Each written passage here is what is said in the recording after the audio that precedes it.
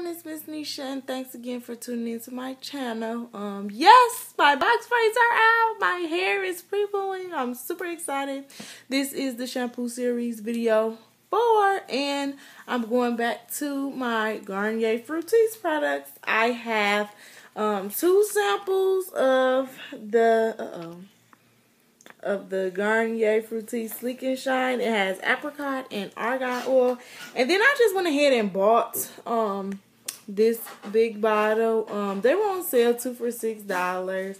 And I had coupons for a dollar off. So um just be staying tuned to see what other Garnier Fructis products I got.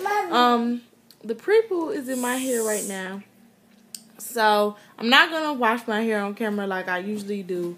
Um, I'm going to wash my pre-poo out, come back after I'm done shampooing and conditioning and let you guys know how I felt then.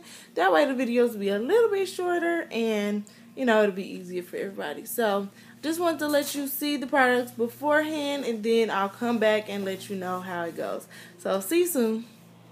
Okay, guys, so I, um, been washed that out. Um, I even got a whole new hairstyle, so sorry I'm so late with this video. But um, I did like the shampoo and conditioner.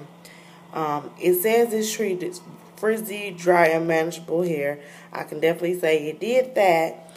Um, the only thing I didn't like was that my hair wasn't as curly. And I don't know if it's because I just took the braids down or is it because of the actual, you know, shampoo because it does say sleek and shine. And I did use it because of the oils that were inside of it. So, um, I don't know if I would use it again, like as a co-wash or anything, but I would definitely pre-poo with it because of the oils inside of it. And it wasn't bad. Um, I just didn't want a straight look. So maybe if I'm going for a straight look, I'll use that next time. So um, thanks for watching my video. Sorry it is so late. And um, stay tuned for, um, I'm going to do a video about this hair um, probably next week. And then I also have to do the shampoo series 5 video. So stay tuned. Thanks for watching. Bye-bye.